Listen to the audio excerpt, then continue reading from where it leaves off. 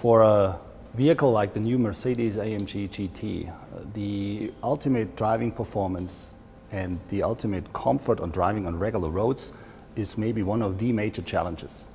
In order to compete with these challenges, it's you know, essential that you have a real good setup from the car from the very beginning.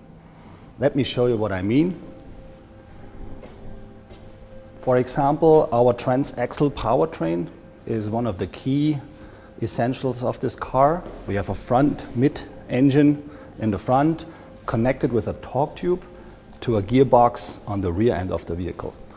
With this power setup, we will have the perfect uh, weight balance. For example, 47% on the front axle, 53% on the rear axle.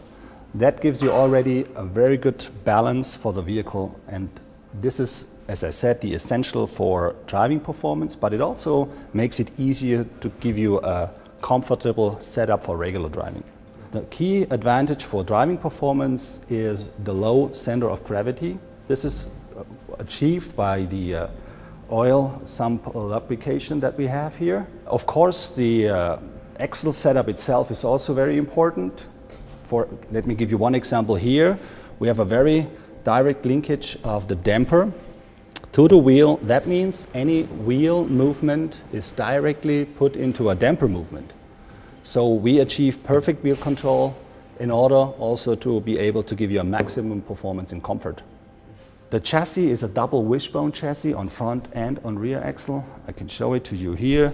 You can see the two wishbones up here uh, also the torsion bar and the connection of the steering to the suspension. The AMG chassis control is an ECU, an electronic control unit that collects all the sensor information and all the setup information.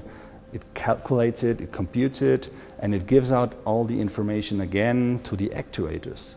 Uh, if you want to have a comparison, it's basically the brain of the vehicle. It's the brain that stands behind our driving performance. The AMG Dynamic Plus package incorporates a lot of different uh, systems. Let me give you some examples. Uh, we have a different setup for the engine. We have a changed camber of the front axle. We have an optimized steering. But uh, personally, for me, the technical highlight are the four mounts that we have.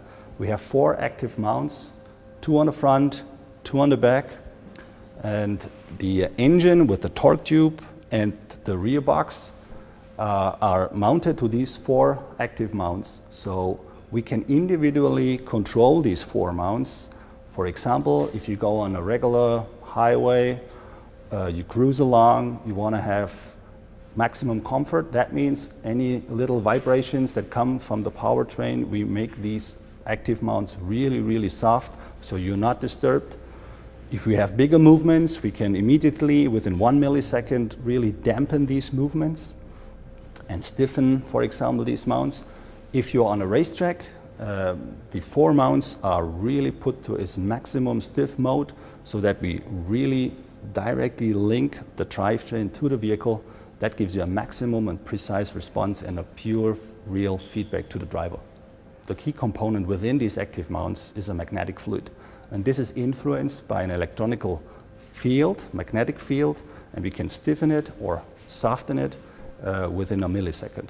But all these systems, they don't really play together if you don't take care of all these setups in your development processes. That's the reason why we introduced a new person. It's our uh, vehicle dynamic integrator. This person ensures that all the teams have one common goal. He's the guy that makes the decisions if you have to do certain setups in order to get all these things in one perfect system to achieve this maximum driving performance.